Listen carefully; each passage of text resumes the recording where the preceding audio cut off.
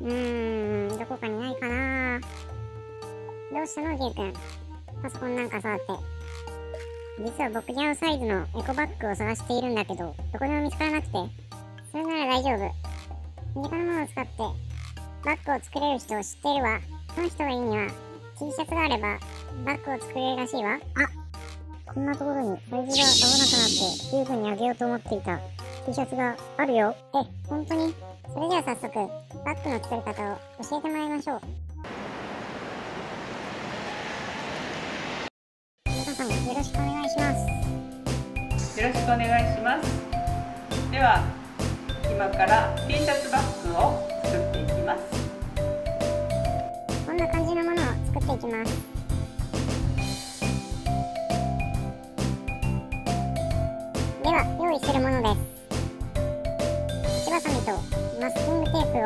いますサイズが合わなくなってしまった T シャツなんかを T シャツを使うといいと思います。切り方ですまずマスキングテープを切るところに貼っていきます。まずは首の周り。首の周りの硬いところは避けてください。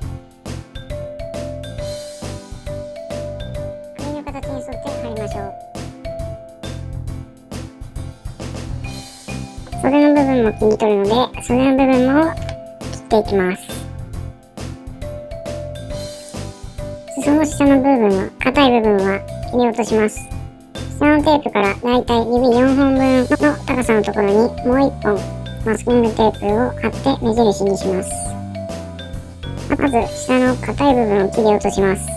小さなお友達は大人の人にやってもらいましょう。切りにくかったらテープを剥がしても大丈夫です。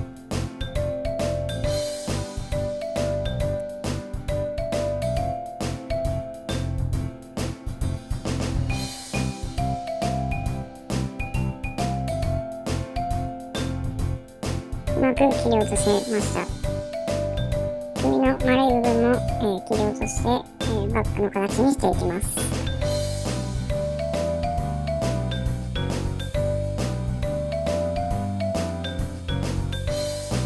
首周りは2つのところから切ると切りやすいです。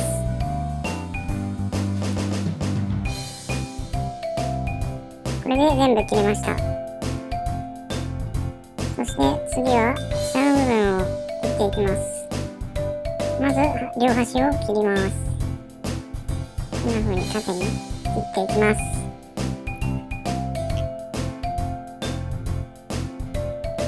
両端から切ります。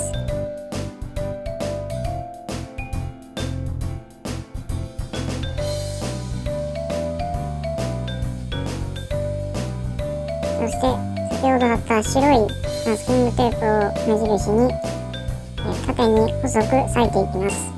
だいたい横幅は1センチぐらいです。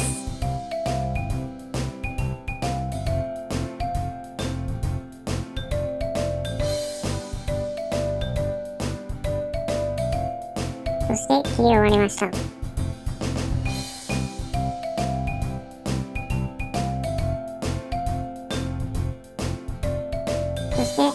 結んでいきます。ほどけないように肩結びで結んで、えー、バッグの底を作っていきます。そしてそれを、えー、全ての紐で、えー、繰り返します。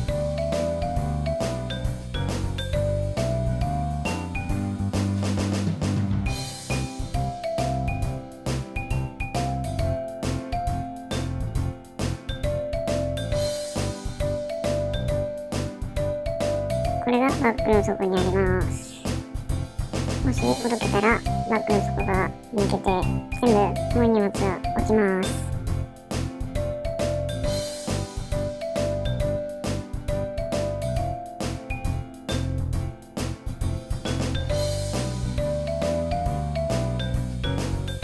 でこれで完成です。そして先ほどあったもう片方のタイプの今回は裏返しなしで作りましたが、え裏返しありのバージョンを作ります。違いは、え紐が外に出ているか出ていないかです。ええ紐が外に出ていて飾りのようになっているかなってないかですそして全て切ったところからスタートですまず結びますそして結びました。ここからが、えー、違います、えー、隣同士の紐を、えー、もう一度結びます。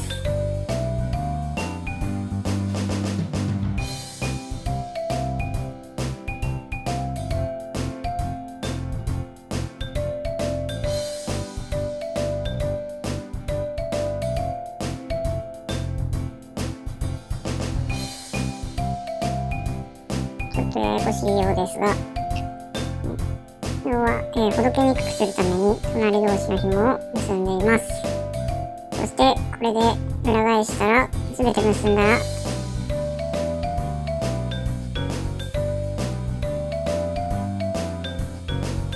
裏返して完成です。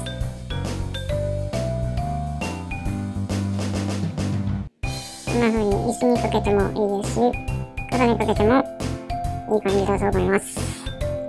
ありがとうございました。